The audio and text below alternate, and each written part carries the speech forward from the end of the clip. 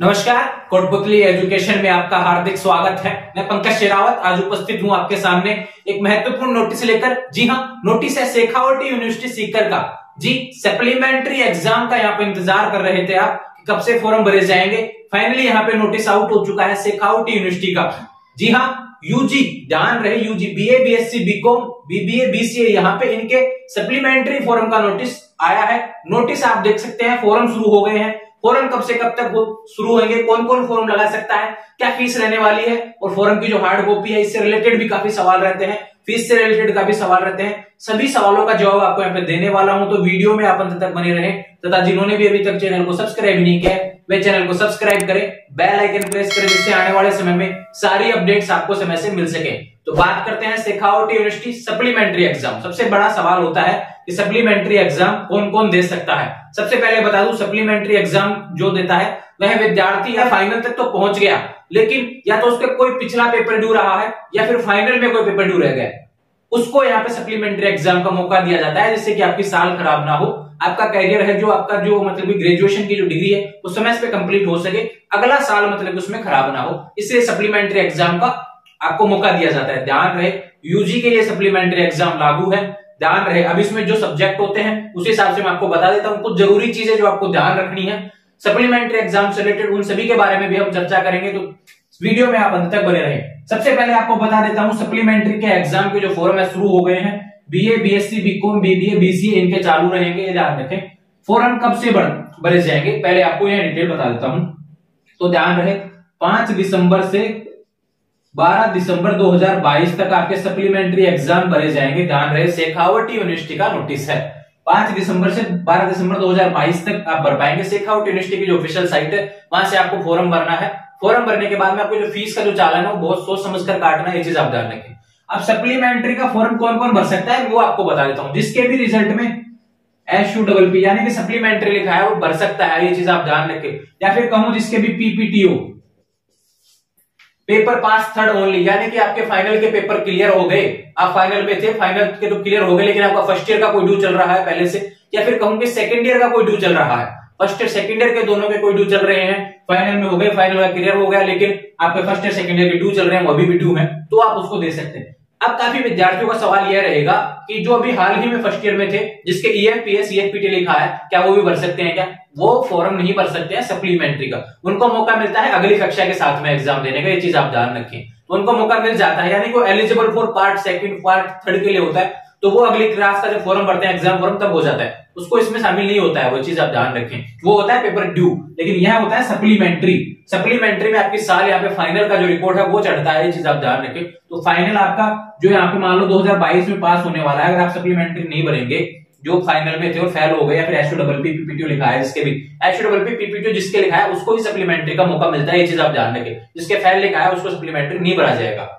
तो यहाँ जिसके भी 2022 से 2023 ना हो, इसलिए यहाँ पे सप्लीमेंट्री का मौका देते हैं। तो ध्यान रहे, जिसके भी लिखा हुआ है, उसको फॉरम भरना है सप्लीमेंट्री का। सबसे इंपॉर्टेंट है बात। अब जो आप फॉरम भरेंगे पाँच दिसंबर से बारह दिसंबर तक तो उसकी जो हार्ड कॉपी है, वो आपको जमा नहीं करवानी है। यानी कि आपको खुद के पास रखनी है। सबसे पहली बात तो यही है। उसको संभाल के रखना है। काफ़ी बार यूनिवर्सिटी क्या है कि रिज़ल्ट जब जारी करती है तो आपको हार्ड कॉपी मांग लेती है। तो आप उसको जमा करवा देंगे। हालाँकि बहुत से विद्यार्थियों के पास मांगते नहीं है, लेकिन कुछ विद्यार्थियों के पास इसका रिकॉर्ड रख लिया जाता है। तो आपके लिए ज़रूरी है आपकी हार्ड कॉपी जो मिल रही है उसको सेफ़ रखें। ये चीज़ आप ध्यान रखें।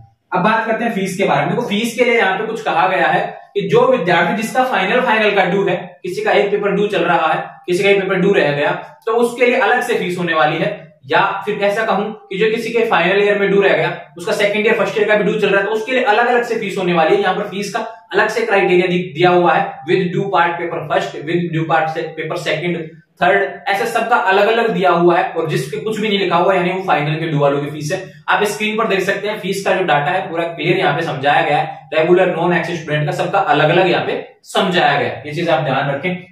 बात करें एग्ज़ाम डेट के बारे में तो देखो 12 दिसंबर तक आपका यहाँ पे क्या होने वाला है? फोरम भरे जाने वाला है। इसके बाद में यानी कि आपके पाँच से सात दिन के बाद में अगर डेट बढ़ती है तो यहाँ पे थोड़ा सा डिले हो सकता है, लेकिन 20 दिसंबर के बाद में आपका एग्ज़ाम शुरू हो जाएँगे। यानी कि दिसंबर के माह में आपका सप्लीमेंट्री एग्ज़ाम लग जाएगा। क्योंकि अभी काफ़ी लेट हो चुका है सेशन लेट होता रहता है। तो उसको लेकर भी बहुत से सवाल है। समय से सेशन पूरा हो, इसलिए प्रोसेस जल्दी की जा रही है। ध्यान रहे इसमें बहुत जल्दी आपके एग्ज़ाम हो जाएँगे। तो लेट नहीं होना है, क्योंकि भी हमने देखा, राजस्थान यूनिवर्सिटी के जो एग्ज़ाम थे सप्लीमेंट्री के, काफ़ी विद्यार्थियों ने सप्लीमेंट्री का फॉर्म लगा दिया, लेकिन क्या किया? एग्ज़ाम देने नहीं गए। कारण था क्योंकि उनको पता ही नहीं चला। सप्लीमेंट्री का जो टाइम टेबल है, तुरंत जारी कर दिया जाता है लास्ट डेट के तुरंत बाद, दो तीन दिन के अंदर ही। ये चीज़ आप ध्यान रखें। तो अपडेट रहना है बिल्कुल आपको इससे लेकर। तो अब बात कर लेते हैं हम सप्लीमेंट्री का। यहाँ पे सप्लीमेंट जो नोटिस था, इसके बारे में तो हमने बात कर लिया। लेकिन एक ज़रूरी इंपॉर्टेंट नोटिस है, जो कि नोटिस में लिखा गया, अलग से पॉइंट बनाकर कि नॉन कॉलेज विद्यार्थी एक चीज़ ध्यान रखेंगे।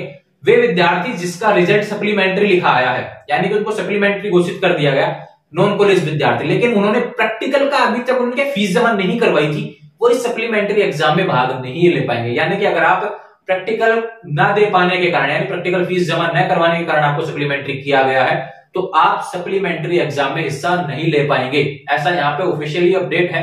आप देख सकते हैं, पहला ही सबसे पहले कहा गया है श्रम पार्टी विद्यार्थी यानी नॉन कॉलेज विद्यार्थी इसमें पार्ट नहीं ले पाएँगे। अगर आपने प्रैक्टिकल की फ़ीस जमा नहीं करवाई थी, अभ्यास प्रमाण पत्र जो आपको मिलता है प्रैक्टिकल फ़ीस जमा करवाने के बाद, अगर वो आपके पास नहीं था और फिर आप सप्लीमेंट्री करार दिए गए तो आप इसमें फॉर्म नहीं भर पाएँगे। फ़ीस नहीं भरनी है फ़ीस रिटर्न नहीं होगी, ये चीज़ आप ध्यान रखें।